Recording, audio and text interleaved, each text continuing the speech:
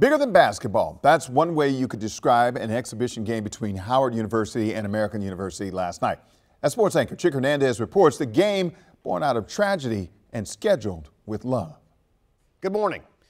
In D.C., there have been since January 1st 2,885 violent crimes committed. Homicides, 228.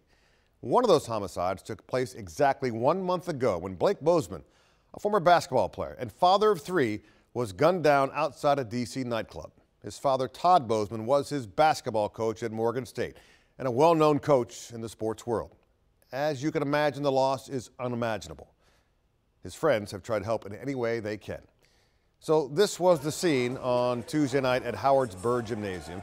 Howard and head coach Kenny Blakeney hosting American University and their first-year head coach Duane Simpkins. The funds raised going to the Far Southeast Family Strengthening Collaborative a community-led organization supporting and empowering families in Ward 8. Amazingly, Todd Bozeman and his wife, Talethia, along with other members of the Bozeman family, were on hand. An impossible emotional scene before the game. The game was secondary on this night. It was about community and two coaches who grew up not that far away from the gym joining forces to help what they call family at their lowest moment.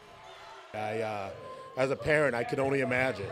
Uh, it, it is heartbreaking. And, and Todd and, and, Blake have done so much for the basketball community and the Bozeman family in general in the D.C. area. If we can give back in some kind of way, uh, that's an easy thing for us to do. It hits home, you know, because Todd Bozeman, his dad, man, is such a great guy. He's done so much for the area, all the young men he coached mentoring he's done. He's been a, he's a tremendous coach and a tremendous person.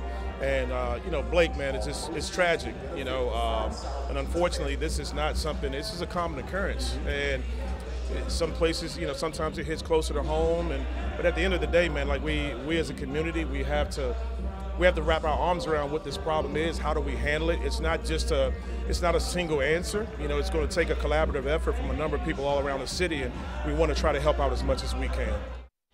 And we here at WUSA 9, our thoughts continue to go out to the Bozeman family.